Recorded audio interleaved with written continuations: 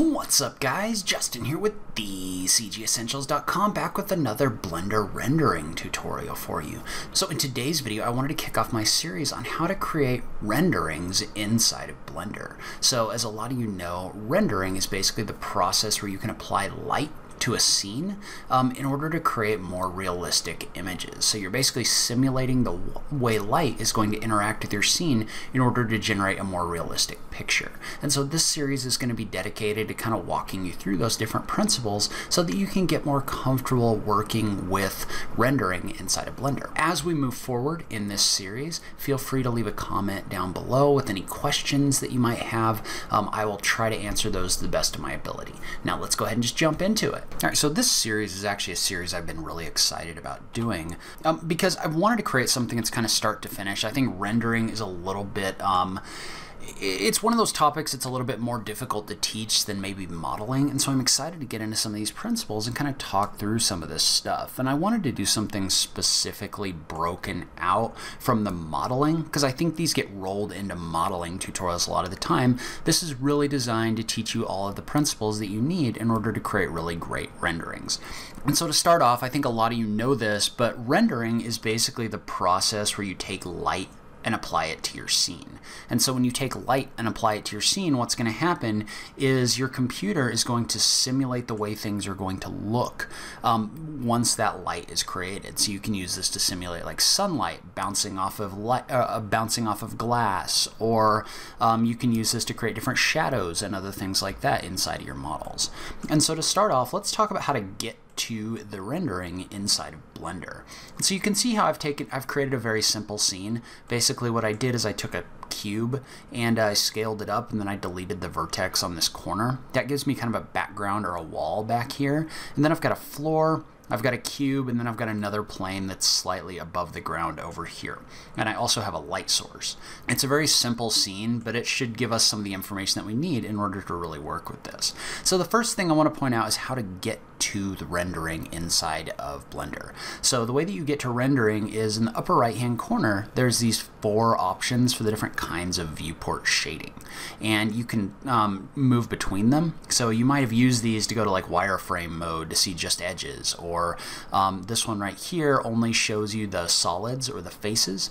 This one will show you the different materials in here, and then the last one is the one that's going to activate rendered view.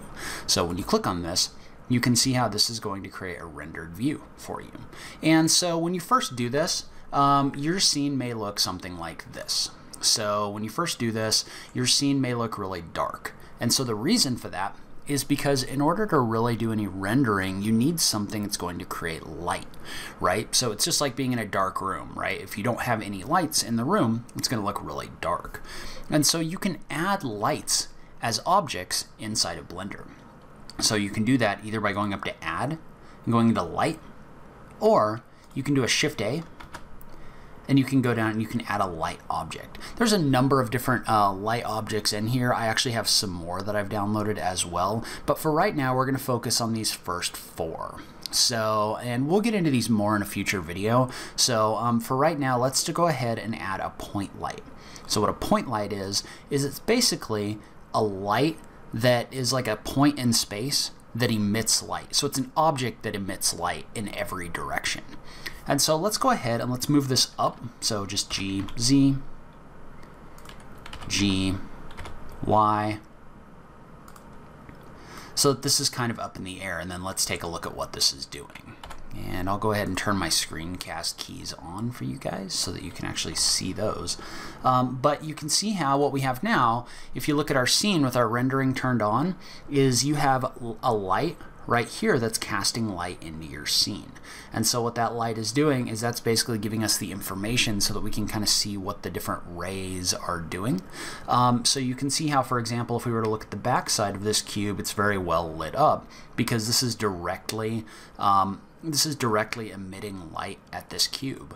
Where on the other side, if you look at this, it's very dark. And so it's very dark because the cube itself is blocking the light.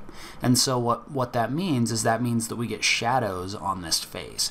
Notice that this is kind of jumping around a little bit. That's not a huge deal right now. We can talk about that a little bit more in the future.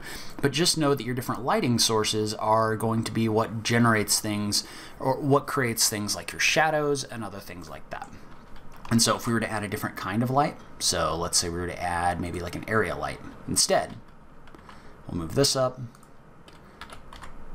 we'll rotate this, you can see how this light casts light in a direction, right? So it's got like a basically an area in here, and this entire area is going to cast light. We'll go ahead and turn off our point light for a second. And so you can see how this casts light in a different way. So this is going to cast light based on the size of the object and the direction that it's pointed. So notice how I can click and drag this in order to adjust the direction that this is pointing. So there are just multiple different kinds of light in here that we can use. I'm going to go ahead and turn that one back off. We'll turn our point light back on. So just note that for a, your scene is going to need a light source.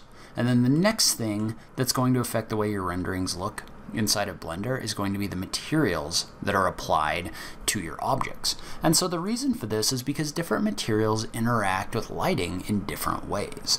So for example, if you were to look around the room that you're in, you're going to see a lot of different kinds of materials. So for example, if you see anything that's metal, or metallic or chrome or anything like that, um, look at the way that the light bounces off of that, you can see how you get reflections. So that's the light rays bouncing off of those objects. Where if you look at like a cloth object in the same room that you're in, the light is more like absorbed by it. So you might get some very dim reflections or they might kind of look lit up, but they're not really reflecting the light rays.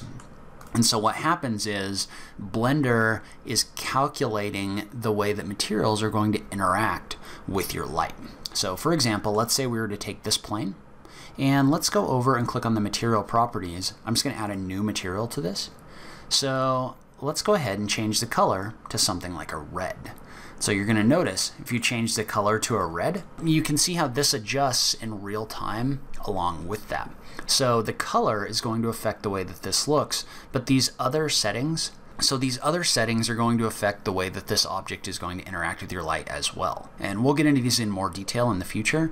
But for example, let's say that we wanted this object to be more reflective. So we wanted it to reflect more light. Well, what we would do is we would change the value for roughness.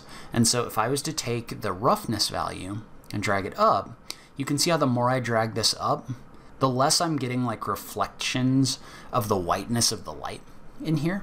But if I was to drag it all the way to the left, you can see how I'm getting very strong reflections of this light. So if I was to drag this all the way to the left, for example, I'm basically getting a reflection of this circle on this surface. So by adjusting these different settings, we can adjust the way these surfaces are going to interact with light in order to get a more realistic effect. So there's other things you can adjust too. So you can make this more metallic to make this look like metal. Um, there's a lot of different things that you can do in here with that that we will get into in future videos. But just know that your materials are really going to drive the way that your rendering looks. And so now let's talk a little bit about the difference between cycles and Eevee. So if you're using Blender 2.80 or above, I believe, um, you have two different kinds of rendering programs um, built into Blender. And so the reason for that is because there's a lot of calculations involved in simulating light inside a Blender or any 3D program, and so different engines do it in a different way. And so let me see if I can pull up the page just to show you what I'm talking about. So basically you have two different rendering engines. So Cycles is the older rendering engine. Cycles has been built in, and basically what it does is what's known as path tracing. So it's a physically based path tracer. What that means is that means it actually goes in and it calculates how the light rays, each individual light ray is going to interact with all of the materials inside of your rendering. Um, so what that's going to do is that's going to calculate all the different light bounces and everything else, which is really great for getting realistic images. But the problem with that is it's very processor heavy right? So um, what what it means is it means your processor has to do a lot more math, basically. So that's one engine built inside of Blender. And you can find that by going over into your uh, scene settings and you can adjust your render engine to cycles. And so what you're going to notice about cycles is if you switch over to cycles, this now gives you this kind of look where where every time that you rotate your camera, everything goes kind of gray. And the reason for that is because every time you rotate your camera, this is recalculating the way that the light rays are going to look, which is great because you can see how I'm getting a better result. So for example, I'm getting a better reflection of my cube on this metallic sheet, but it takes a lot longer for it to actually generate this result. So, um, and another thing is you might get this little dotted or pixelated look. The reason for that is because it doesn't, it hasn't calculated what the light would do in those areas yet. And so it either doesn't have enough light to calculate that, or it just takes a long time for you to get a really smooth image. So the other engine that's built in is what's known as Eevee. And so Eevee, and all of this information is in the Blender manual, by the way, at docs.blender.org. But Eevee is basically what's known as a real-time rendering engine. And what a real-time rendering engine does is instead of ray tracing, if you look down below, what this does instead is it kind of approximates everything using something called rasterization. And so rasterization estimates the way the light is going to interact with your objects. So instead of actually calculating what the light's going to do, this kind of approximates it. And so there's pluses and minuses to that. The plus is that it's much faster. So if I was to go back to Eevee and move around, you can see how this is basically real time. Um, so I'm not having to wait for anything to load or anything like that. Um, but you can see how you're not getting the same result. Um, so for example, like this is kind of jumping around, but my box in here isn't showing the uh, reflection quite as well. So what it does is it's much faster um, but it doesn't necessarily give you quite as good of a result from a details standpoint. And so there's places for each one of these. So I wouldn't necessarily say one is better than the other as much as I would say that each one has a different use. So you can switch between those by going to your scene and just setting your render engine to the different engines. So you can go either way with those, but you can find those inside of your scene. And we can talk a little bit more about the differences between those in a future video. But for right now, um, let's talk about how to export an image. And so first things first, if we were to go up and you can export your image by going up to render and clicking on render image. What that's going to do is that's going to pop up a window where this renders out your image. But you can see how um, we have an issue right here, which is we're not really showing our scene very well. And so the reason we're not showing our scene very well is because even though we've been rotating around inside of our scene in Blender, what we haven't been doing is we haven't been adjusting our cameras. And so our cameras are going to be really important for the way that we create our renderings. So if I was to zoom out right now, you can see how we've got this thing kind of flying off into space. So this is our camera. And basically the view from our camera is what's going to drive the way that our scene looks. And so you can see how right now this camera is looking at the scene kind of off to the side like this. So you can't actually see what's going on. And so what you need to do in order to get a better image is you need to move this camera so that it's actually looking at your scene right here. And so there's a number of different settings for your camera, which you can access by going into camera. Um, or you can also, um, so you can adjust everything from like your focal length and everything else.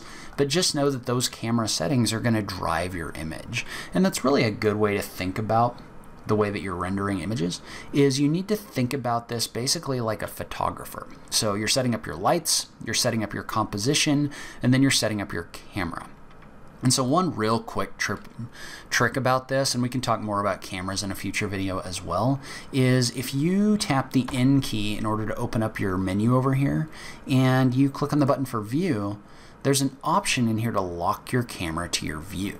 So what that means is that means you can check this little box, and then if you type zero on your numpad, this is basically going to move your uh, active view into what your camera is seeing.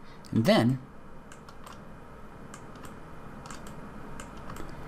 you can move your camera by adjusting your actual view in here. So what that means is you can actually preview what you're going to see inside of your rendering by moving this camera around. And basically everything inside of the yellow box is what's going to be shown inside of your rendering. So now, if we were to go up to render and click on render image, what that's going to do is that's going to create a rendering from that camera view inside of Blender. And so one last thing I want to do, and then I'll show you how to save your image, is I want to talk a little bit about the, the performance difference between Cycles and Eevee. So we talked about that a little bit, but you can see how this has Eevee currently activated. And so what that means is that means that final result is going to be created through the Eevee rendering engine. So if you look at this, so I may take a screen capture of this actually just so we can kind of compare them. But um, let's take a screen capture here. Notice that it took less than a second to create this rendering. Now let's go back and let's set our rendering engine to cycles and then do the same thing. So if I click on render, click on render image, you can see how this is going to go through and this is going to create a rendering. But notice that it's taking significantly longer than when we were um, than when we used Eevee. So Eevee was able to spit that image out in less than a second. This is going through and it's rendering out your scene. And there's different settings you can change in order to adjust this, but you can see how this is taking a lot longer, but it's also a significantly better result. So I'll kind of try to bring these in side by side as best as I can, just so you can look at them. There we go. So if you look at these two images, what you're going to notice is um, other than the slight graininess, which I would need to add some more lights to this scene in order to get rid of, you can see how while over here I'm getting very, I'm getting some results that aren't very detailed, right? Like you can't see a very good reflection of my cube on the left hand side. Um, and this is just kind of like a straight line through here. This material gets very non-reflective. So you're, you're just not getting the same subtleness of your lighting in the Eevee rendering that you got from your Cycles rendering. You can see how the Cycles rendering, you get the reflection of your cube right here. So you just get a better um, result if you're looking for things right things like reflections and other things like that. There are some things you can tweak in Eevee to get a better result, but just note that while the Eevee result took under a second, it gives me a different result than the cycles render. And so sometimes we're going to use cycles, sometimes we're going to use Eevee. It really kind of depends on what we're trying to do. But just know that they're different and that there's a time and a place for each. And then once you're done with this, you can just go up to image and click on save or save as in order to save a copy of your image um, for use later. So you can use this image once it's been rendered. So you can just do a file, save as, and save that as an image file. So that's where I'm going to end this video. We will get into all of this more in depth in future videos, but I wanted to give you kind of an overview of the way that rendering works inside of Blender. Leave a comment below. Let me know what you thought, if this was helpful to you. I just love having that conversation with you guys. If you have any questions, leave those down below as well. If you like this video, please remember to click that like button down below. If you're new around here, remember to click that subscribe button for new Blender content every week. As always, thank you so much for taking the time to watch this. I really appreciate it, and I will catch you in the next video. Thanks, guys.